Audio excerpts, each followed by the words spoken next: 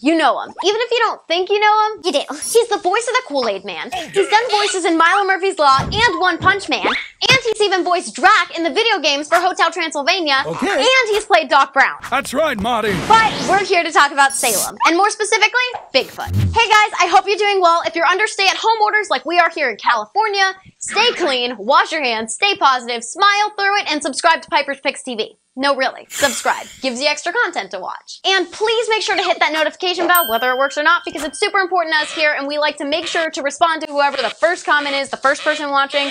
We like to see all that, and we keep track of it. So Notifications bell, y'all. So, Salem. If you haven't seen my interview with the awesome creator Sam Sawyer yet, Salem is about a non-binary cryptid named Salem. For the uninitiated, we did describe cryptid in that interview, so I'll link it in the description and at the end of this video. Brock plays Bigfoot in Salem. Apart from being an awesome voice actor and face actor, he's also a really funny and nice guy. We got a lot to talk about, so let's jump into the interview.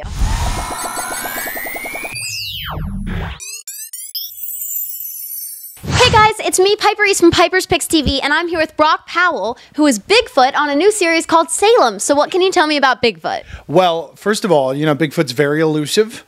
Uh, and our Bigfoot loves blueberry muffins. So that is actually something I have in common with Bigfoot. So, I know that Salem is non binary. Does Bigfoot have a gender on the show? Interesting. I don't know that we've discussed it. I I think that Bigfoot is Bigfoot, but I no, I th- that's a great question. I think Bigfoot identifies as Bigfoot. Do you believe that Bigfoot is real? Oh yeah. Have you seen anything, any signs or anything? Uh, I've I've not personally, but we recently had a we have an actual cryptozoologist who's helping us prepare to keep the uh, our interpretation of our characters, and especially with the cryptid uh, cryptozoology elements. Um, we have an actual expert on Bigfoot who came and did a whole like we had a whole like hour together, awesome.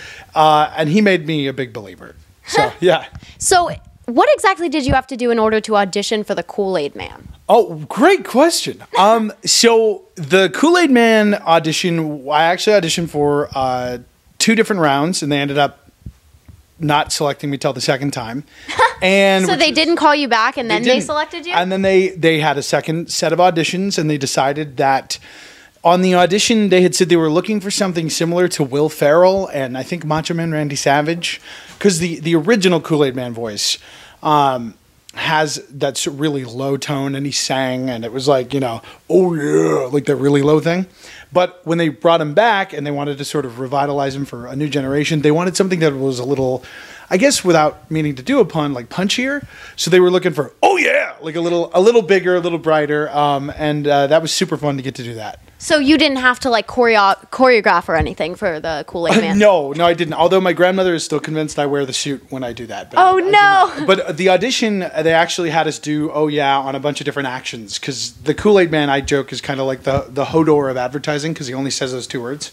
And uh, so they wanted me to jump on a trampoline uh, Oh, no. yeah right uh, but not physically just in, in the action as if i was Right. so doing oh yeah like you're underwater doing oh yeah like you're fighting off squirrels so like they Like wanted you're to fighting see, off squirrels. Yeah, That's sure. normal. oh yeah yeah of course very very weird um yeah i feel like that's helped prepare me you know a, a big jug of punch to play a big cryptid it's helpful Interesting. Yeah. So, if you were Canadian, would you not be sorry? oh you know if i was canadian i got to be uh, dr not sorry on milo murphy's law which by now uh, will be available i think on disney plus right we could probably say that Is that Who was the hardest to work with on Milo Murphy? well come on swampy no i'm kidding uh, uh, the, the I know that's not true. No, not at all. Everybody was a blast to work with. Um, I think the hardest thing I had to do on Milo Murphy's Law was I did. Um, I was very lucky because I got to do creature voices with Dee Bradley Baker. Like, Oh, that's awesome. So, so we both provided a lot of creature sounds throughout the show, and so if if an alien isn't Dee, it's me, which is really cool. Um, and there was one session where he'd already come in and done a bunch of dog sounds, and I had to do. Uh, I believe it was Milo Murphy's. Diogee, right? He Yeah, so he does Diogee. Uh, but there was an episode of season two, Rock, Walker Runner Screamer, I think it was, where Milo has to go walk a bunch of different dogs. Yes. And all those dogs had to be voiced by actors. Oh, so so Dee came in and did his half of the dogs, and then I had to do some other dogs. And keeping all the dog barks separate, and then all the dogs had to like burp, so you had to keep it distinct. So that was really challenging. Yeah, that sounds like a lot because there were a ton of different dogs and you were just splitting them in half. Well, well, so we there were different dogs. So there was a poodle, there was a German Shepherd, and a Saint Bernard, and so we had to like. Did you method act for that? I did, yeah. I didn't. Uh, I took myself on walks. Uh, I taught myself how to speak.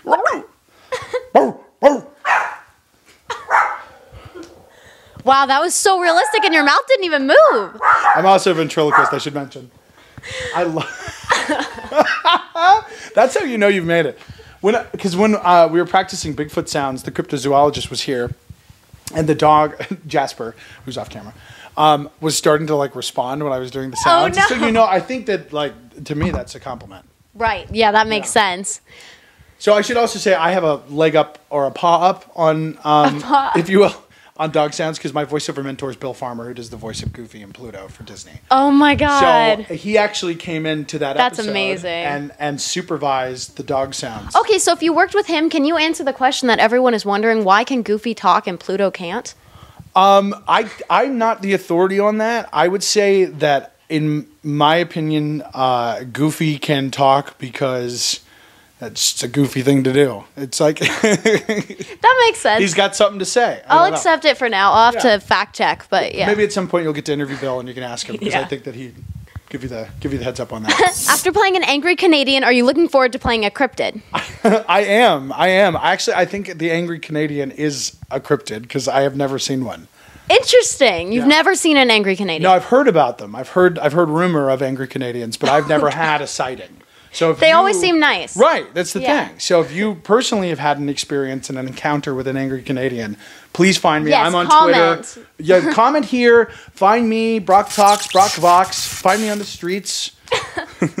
Do you know anything about a new Bakugan series? I cannot comment on that at this time.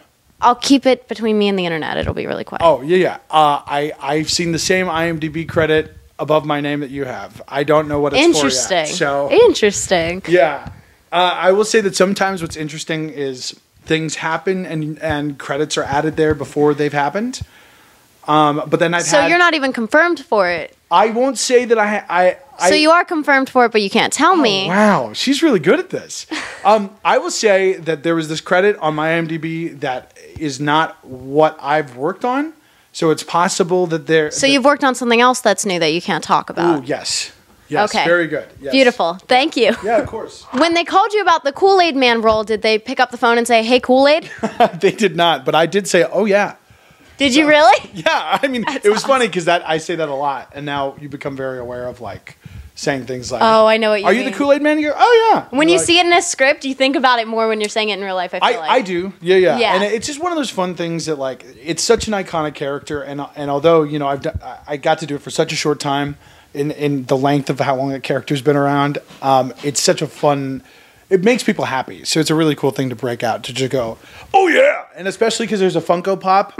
Um, so I've been really fortunate because I've gotten to do a bunch of signings, and right now Funko just opened a store in Hollywood, and there's a huge Kool Aid Man Funko there. Yeah. So it's like just makes me smile, like the Kool Aid Man. So there you go. What's your favorite horror movie? Uh, so my all-time favorite horror movie is it's a split. So I really love Descent.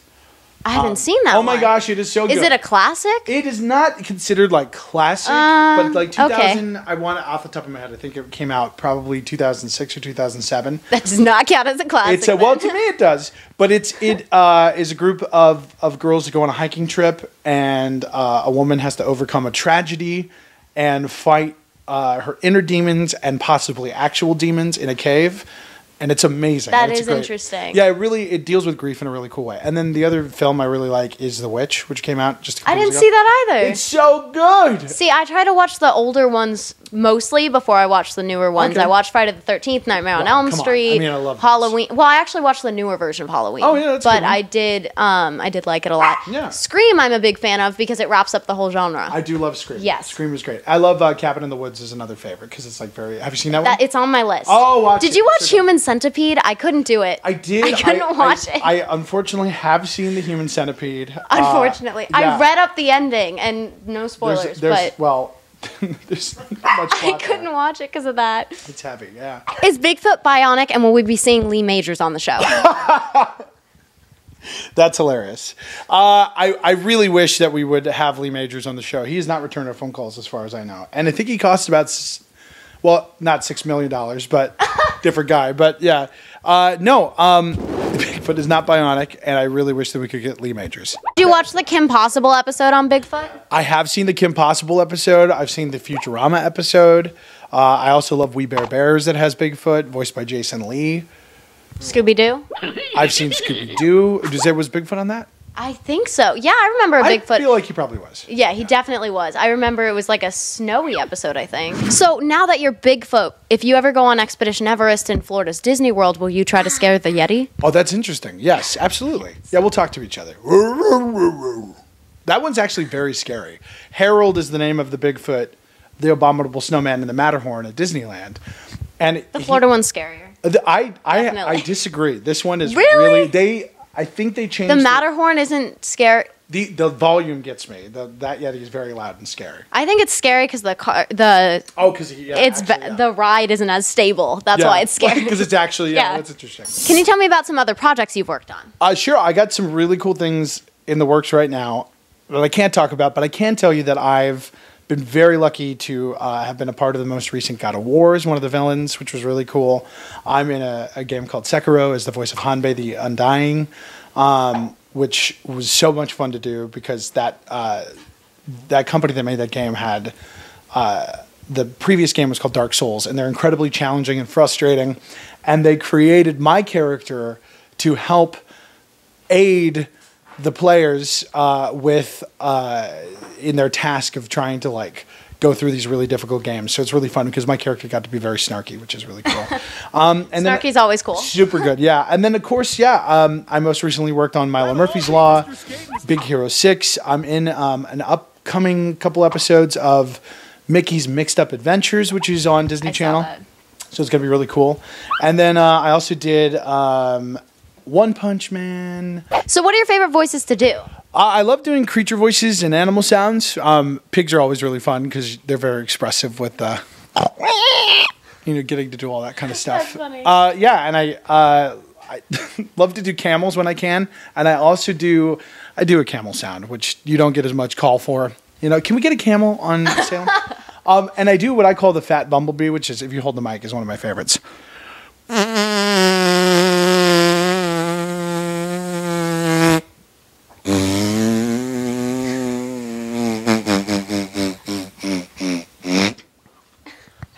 Yeah, there you go. So, here's a question. If you got to pick a character of Looney Tunes to voice, which character would it be? That's a great question. Um, I love Taz. Um, so that would probably be. Can you do your best Taz impression? Uh, sure. Ah, uh oh. Taz, sorry. There you go. That's awesome. Yeah. Thank you so Yeah, much. of course. So, what do you think? Are you excited to see the new Salem series? I know I am. And what do you think of the interview? Let us know in the comments down below. And remember to watch for those weekly live chats we just started doing, 4 p.m. here on the West Coast and 7 p.m. on the East Coast on Thursdays. Notifications will be on Instagram. Links in the description. Stay safe, keep smiling, and watch Piper's Picks TV. Bye. I'm pretty sure our set is now haunted because this is like our fifth time filming this intro. What? Okay. Are we really pulling that poop? Over there. Way over there. My energy's like plummeting now. That's the issue. Check him out. They're over there. Yes, I did. Oh my goodness. Oh my god. Why can't I get this right? Y'all Floridians, i.e., Bigfoot. Wait, why did I say i.e.? Where did that even come from? What? We're filming. Third one, I keep forgetting that third one. Uh, okay. Oh, all right. I'm having enough trouble saying when we're doing it. Sorry, my bangs are getting in my eyes. Let me do that again. That was awful. Why is this so difficult? One more time. Oh, sorry. Why? That was perfect. Ugh. One more time. Can I change how you wrote it? All right, hold on. Dad, you're just reading and you're not giving me an actual line to say. Saying is really difficult. Hi guys, how's it going? Just want to let you know the secret info here. See, you can't even do it! Ugh. okay. What, you, Dad, what are you looking for? Oh my goodness! Hold on! you're not doing anything wrong, my brain's literally just not picking it up. Y'all will love it. Just trust me. This is the end. Dun, dun, dun,